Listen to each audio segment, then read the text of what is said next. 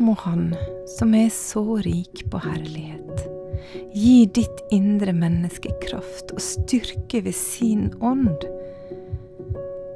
Må Kristus ved trua bo i ditt hjerte, og du stå rotfesta og grunnfesta i kjærlighet.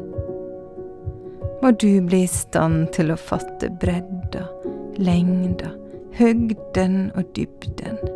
Ja, kjenne Kristi kjærlighet, som overgår all kunnskap. Å Herre, la ditt ord bli min pust. La din puls bli min puls. La din hjertesak bli min.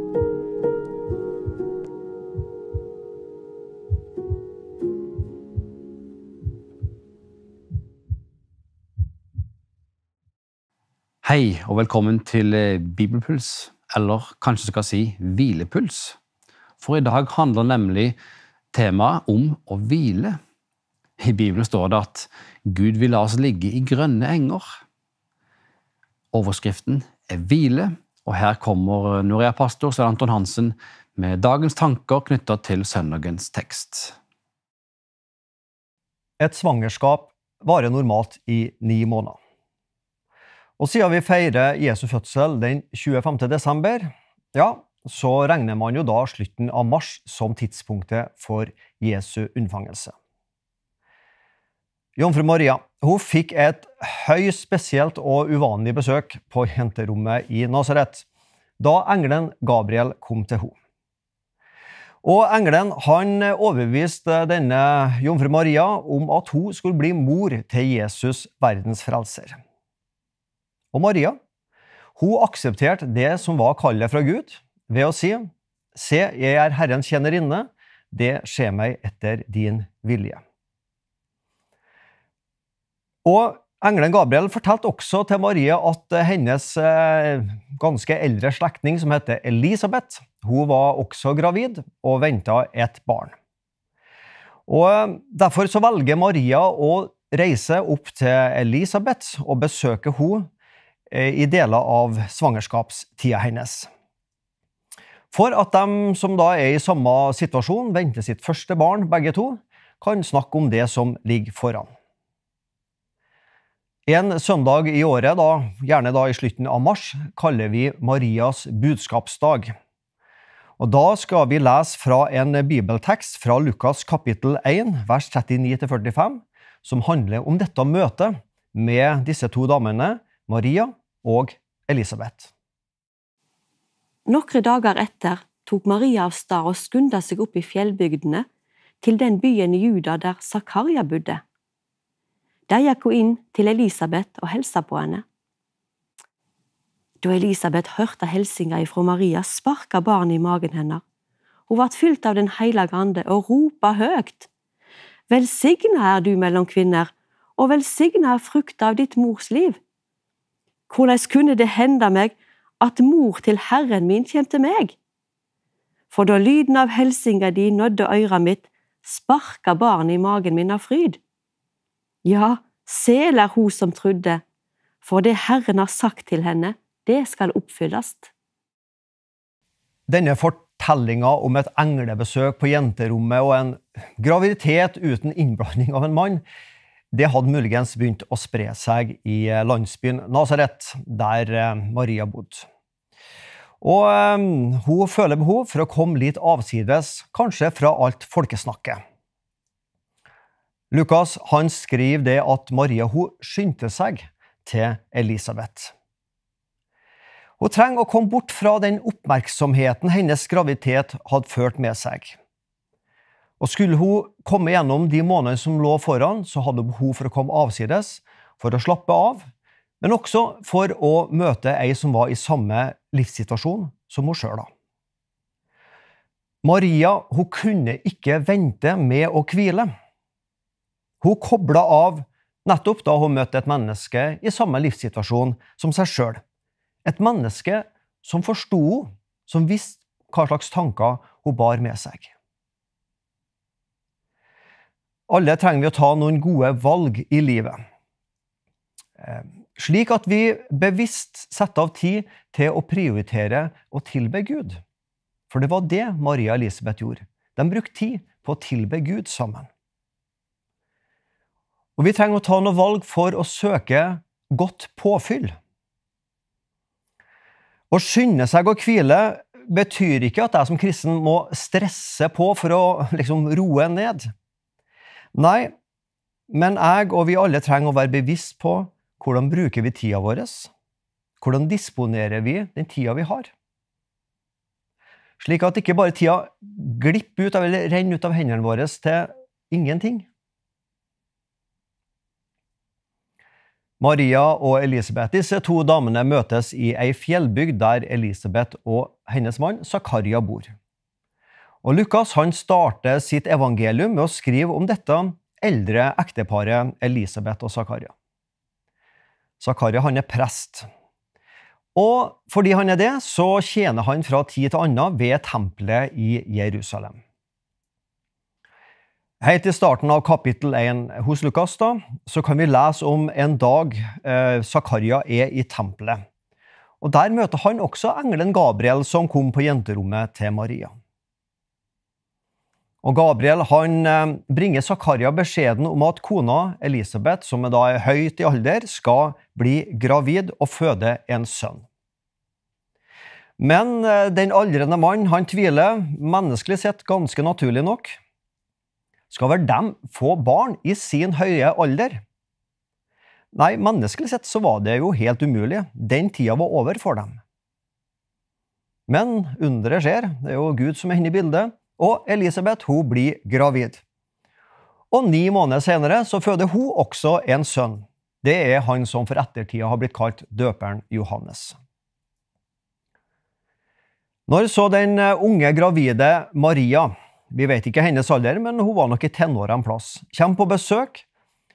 Så hørte vi i bibelteksten at uh, det ble lest at barnet i Elisabeth sin mage det gir fra seg et merkbart spark, som uh, fosteret av og til kan gjøre.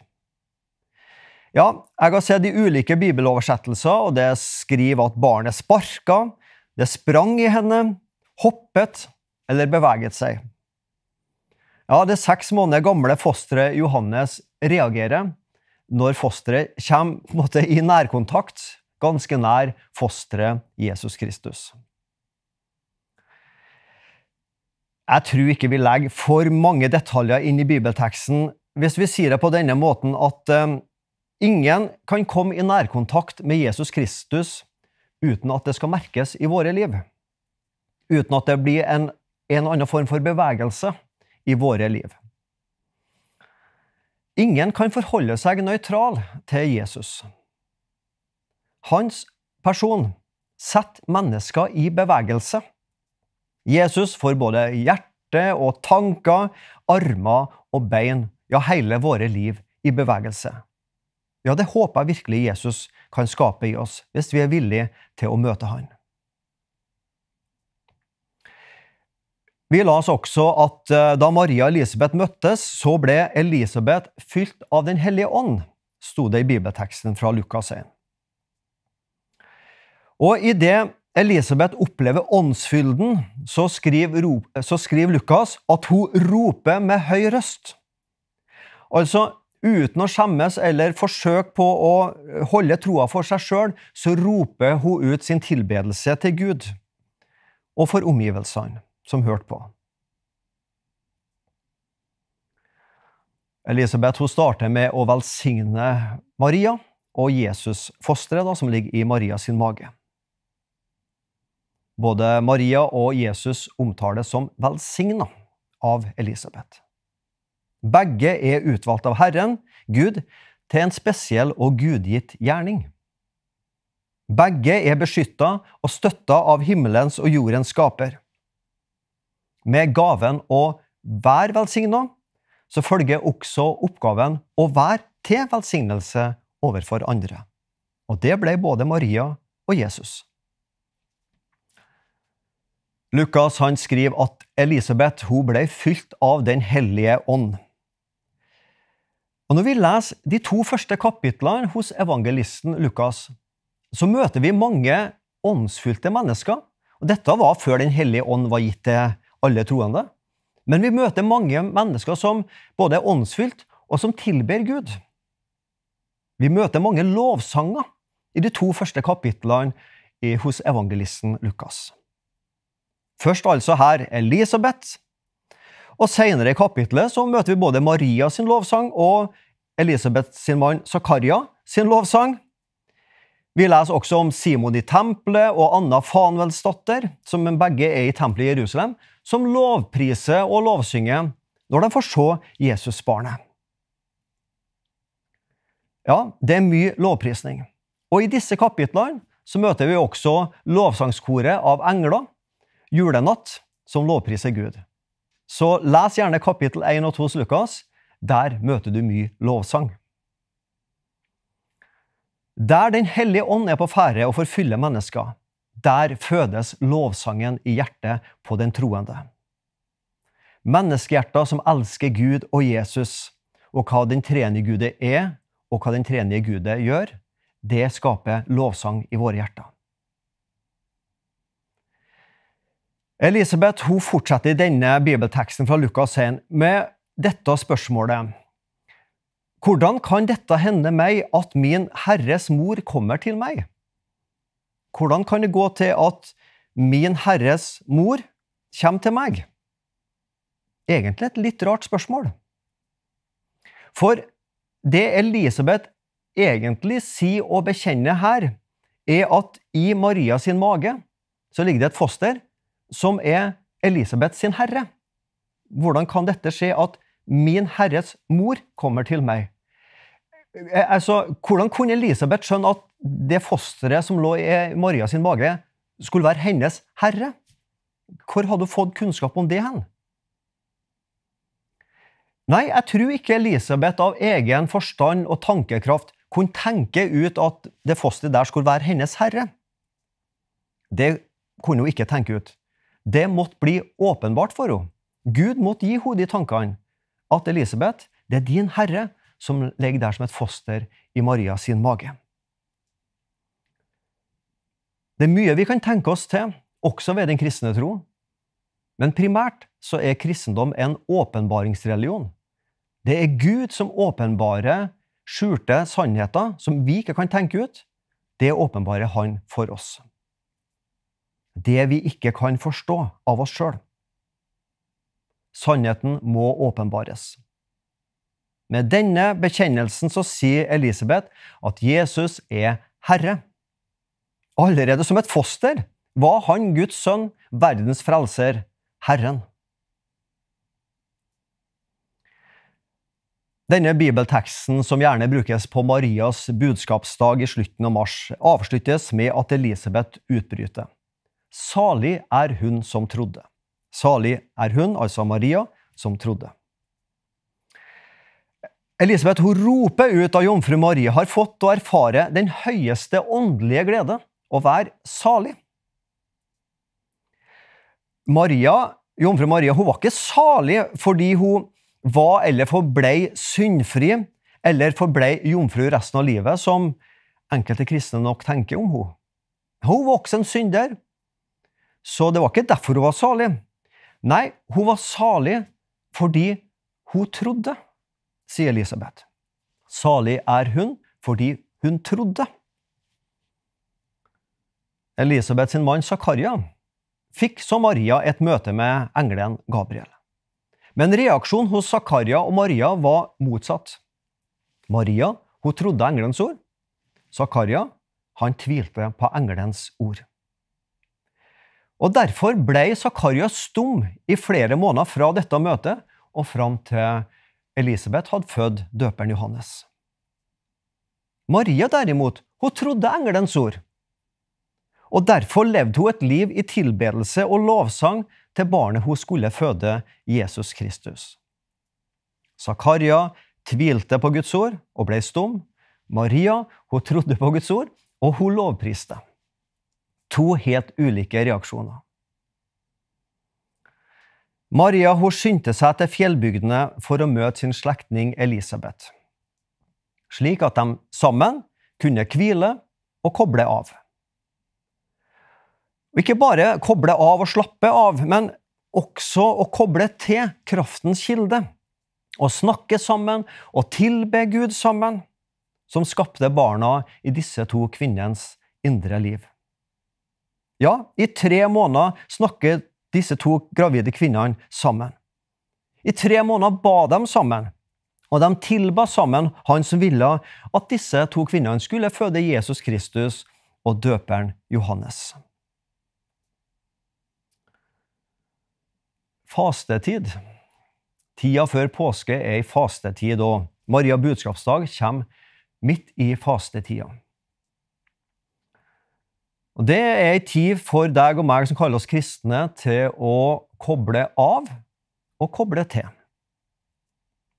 Hva kan vi koble av hvile fra, som gjør at vi kan legge det bort og ha en større konsentrasjon om det som ligger foran i påska? Hva trenger du og jeg å koble av? Og hvordan, så må vi også spørre oss hva, hvordan kan vi koble til? Og, og, på en måte koble oss på Guds ord og Åndens kraft i denne tida. Og jeg tror som Maria og Elisabeth, og som mange andre som vi leser om i Lukas 1 og 2, tilbedelsen. Der kobler vi også til troens kraft og, og kjenner at Gud er nær oss. La oss be om at eh, denne tida kan bli ei tid der vi får koble av fra det vi trenger å hvile fra, og der vi kan få koble til for å få del i Guds kraft. Herre Jesus, vi takker deg for Lukas, som skrev ned denne fortellinga om Elisabeth og Maria. At Maria huska de orda hun mange år tidligere hadde bedt, og vi fikk skrevet det ned for ettertida. Vi kan lese denne tilbedelsen og lese om denne vakre fortellinga om disse to kvinnene som tilba sammen, som kobla av sammen, og som styrka hverandre på troens vei. Herre, velsign oss, både i fasetida, men også ellers gjennom hele året, til å koble av og koble til, slik at vi lever nær deg, Herre Jesus. Amen.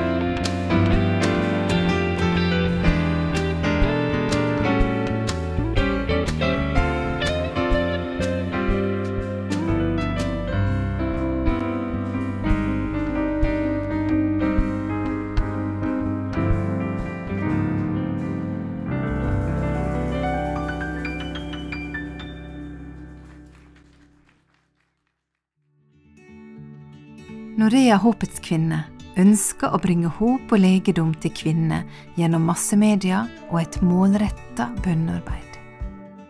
Gjennom å dele radioprogram via forskjellige typer medier bringer vi håp til kvinner i alle aldre. Med det livsforvandlende budskapet om at hun er skapt av en kjærlig Gud som bryr seg om henne. Noen ganger kan det kjennes ut som om vi snakker ut i lufta, og at ingen hører det vi forteller dem. Vi kan jo ikke se de som lytter, og for noen er det farlig å gi respons. Men så blir vi overraska og glade når vi får høre om at det er mange som kommer til tro gjennom programmer, og mange vitner om en styrke til å møte hver dag og kunnskap som kan redde liv.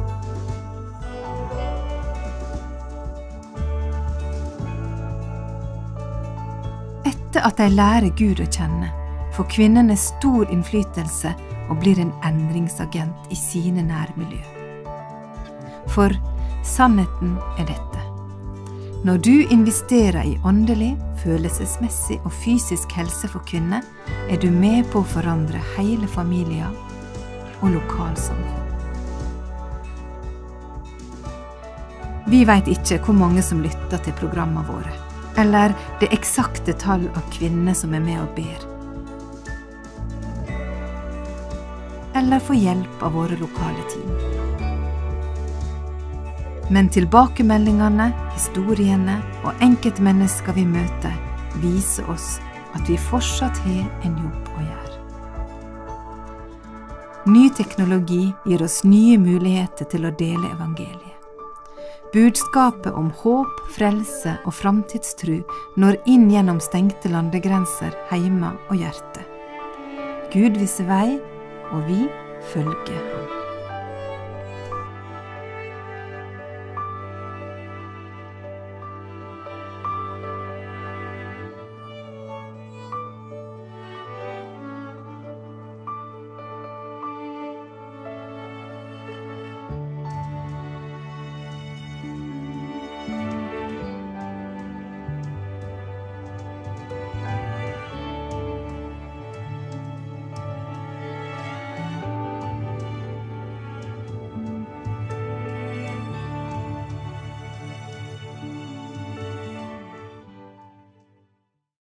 Vi har mye å lære av andres eksempel, og det er stor inspirasjon for meg å tenke på at tusenvis av kvinner tar fram bønnefolderen hver dag og ber over det samme emnet, og bruker tid med Gud.